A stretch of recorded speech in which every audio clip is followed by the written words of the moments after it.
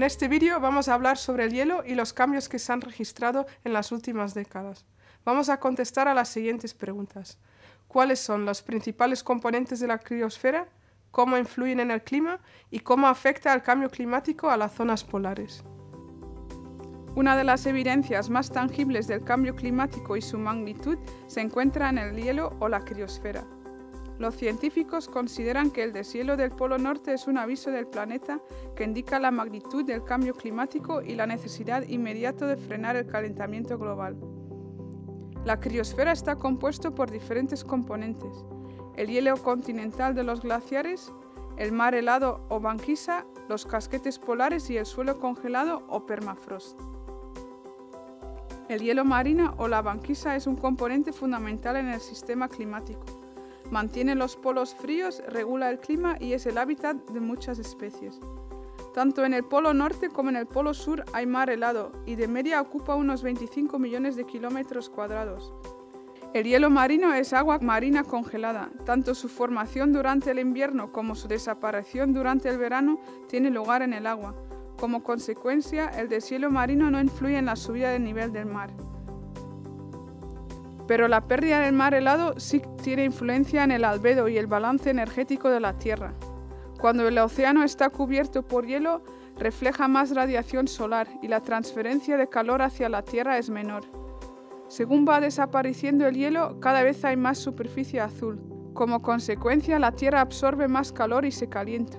Esto es otro ejemplo de un proceso de retroalimentación positiva, Cuanto más se derrite el hielo, mayor es el cambio en el albedo y más sube la temperatura. Los datos del National Snow and Ice Data Center nos muestran la extensión del mar helado en el pasado mes de febrero. En ambos polos la extensión está por debajo de la media que está indicado con una línea rosa.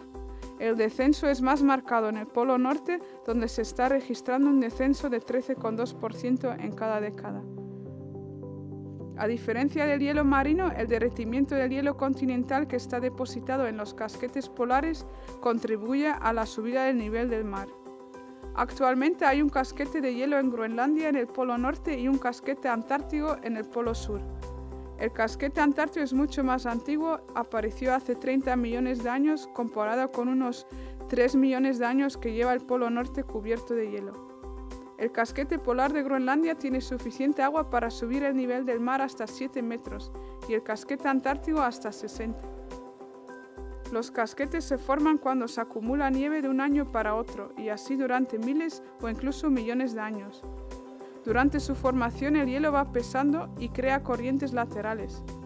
Aunque no lo parece desde fuera, los casquetes están en continuo movimiento. Estas corrientes se mueven hacia los laterales y finalmente acaban en el mar. Mientras hay más acumulación que pérdidas, a nivel del mar el casquete se mantiene estable.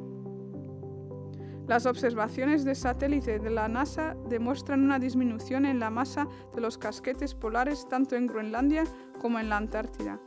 La disminución es más evidente en Groenlandia y en la Antártida solo se ha observado esta tendencia en el casquete oriental. Cuando el flujo de hielo llega a nivel del mar, se forma una extensión del hielo flotando sobre el agua, una plataforma de hielo, que puede tener un grosor entre 50 y 600 metros, y algunas plataformas pueden mantenerse estable durante miles de años.